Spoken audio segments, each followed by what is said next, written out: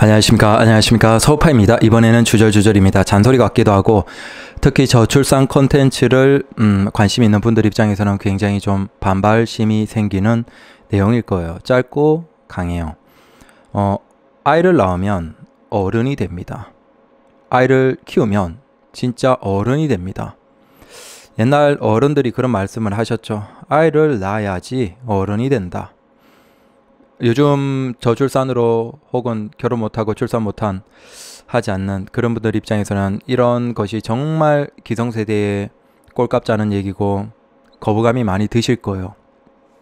그러면 그래도 여러분들이 이해할 수 있도록 저는 조금 이성적으로 이걸 풀어볼게요. 왜 아이를 낳아야지만 여러분들이 진정으로 어른이고 성숙된 존재가 되는지. 어, 이건 첫 번째. 요거 하나씩 잘라서 요것도 해볼게요. 아이는 여러분들을 철저하게 모방합니다. 아이라는 존재가 사실은 스펀지와 똑같아요. 아무것도 아무것도 없어요. 그냥 그냥 백색이에요. 백색. 그러면 그 아이가 어떤 행동이나 말이나 어떤 습관이나 방식이나 이런 것들을 무엇에서 배울까요? 갑자기 뭐 걔들이 빌 게이츠나 혹은 뭐 앨런 머스크 혹은 뭐 정말 세계 부자가 된 사람들? 아니잖아요. 물론 걔들이 그런 걸 진짜 언어나 행동이나 생각이나 모든 걸 카피하면 제일 좋겠죠. 근데 내 생각에 미래는 그런 게 가능할 것 같아요. 하지만 키우는 부모, 키우는 사람을 그대로 카피해 버립니다. 아이는. 여러분들이 어떤 단어를 쓰죠. 어느 시점에서 아이가 무의식 중에 그런 단어를 툭툭 던져요. 부모가 깜짝 놀라요. 우리가 설, 솔직히 습관적으로 평소에 뭐 부인이랑 이런 뭐 장난처럼 이렇게 툭툭 던지는 좀 가벼운 단어들 있죠. 욕이라고 할 수도 있고 욕까지는 아니더라도 솔직히 쓰고 시, 좀 쓰기 그런 일반인들과 대화에서는 절대 표현하지 않는 약간 쌍스러운 단어나 그런 것들 있잖아요.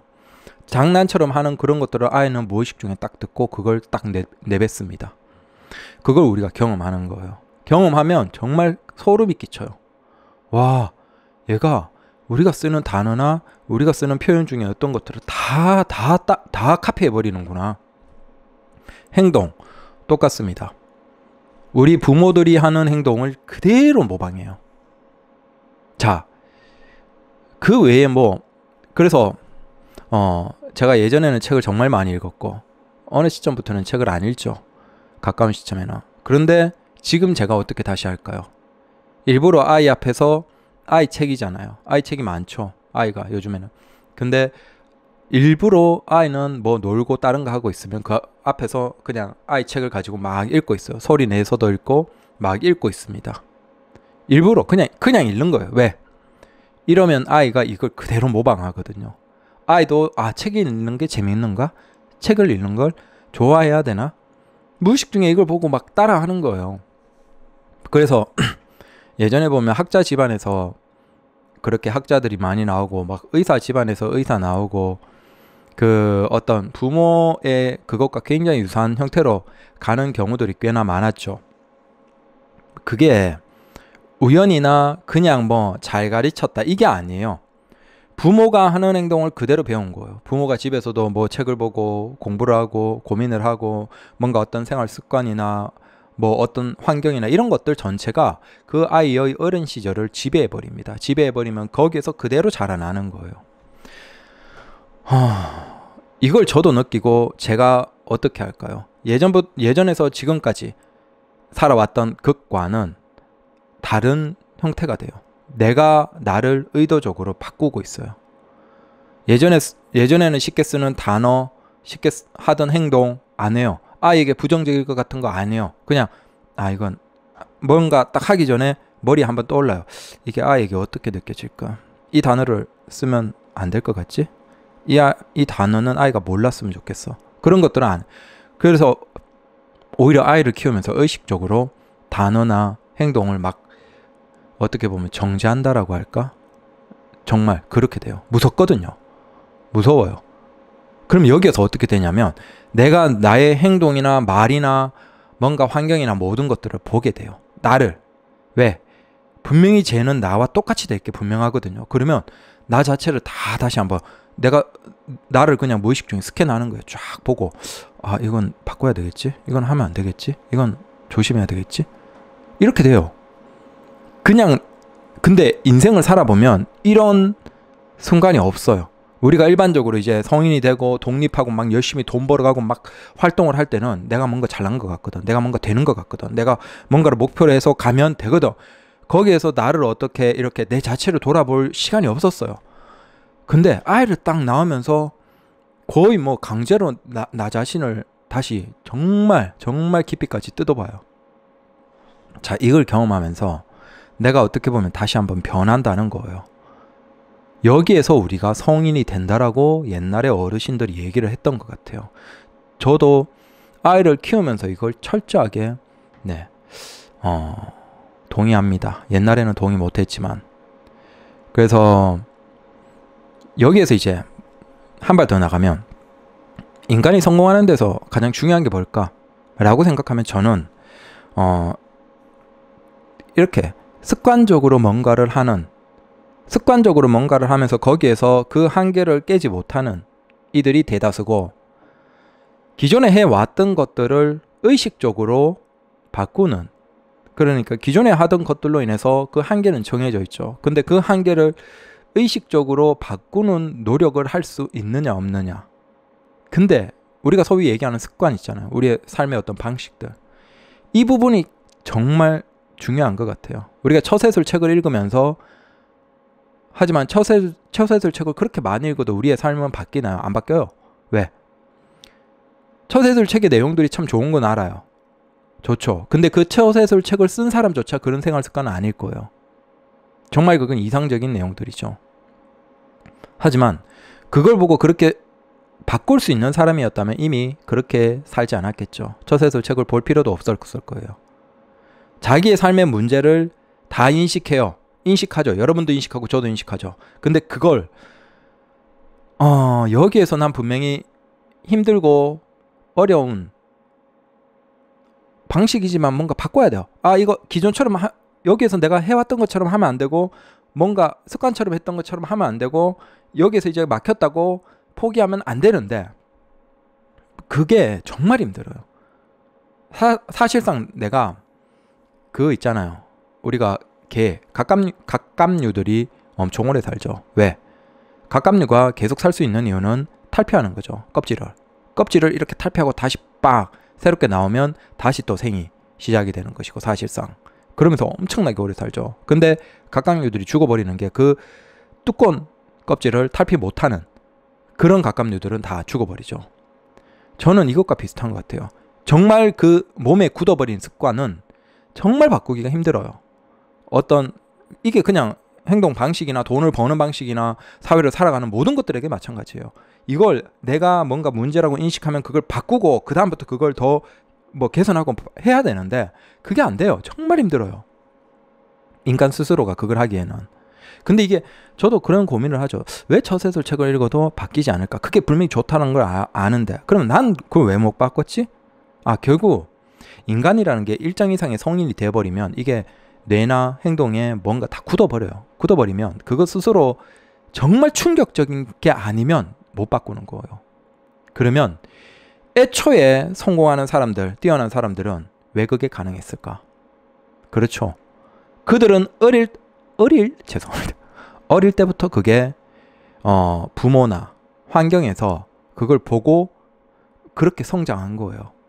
그렇기 때문에 그들은 어릴 때부터 그걸 깨고 바꾸고 세상의 어떤 기준이나 벽이나 한계를 넘어서는 그게 그냥 일상인 거예요. 일상인 거. 근데 우리는 어때요?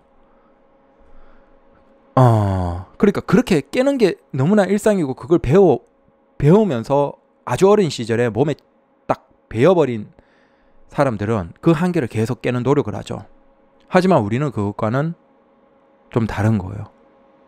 우리는 어떻게 보면 뭔가 그 구조 속에서 그냥 차분하게 뭔가 튀지 않고 뭔가 그런 삶의 방식이 우리 한국에는 지배적이니까 어떻게 보면 일정 규모, 일정 정도의 양질의 인재를 뽑아내는 데는 굉장히 좋지만 여기에서 창의력이 좋은 그 한계를 깨고 다른 생각을 하고 다른 뭔가를 하는 그런 인재들은 대한민국에서 나오기가 힘든 거예요.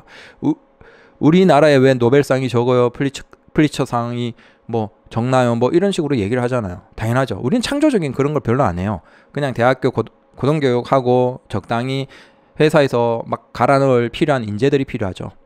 그 방식에서 그런 인재를 대량으로 뽑아내는 시스템이 지금까지예요.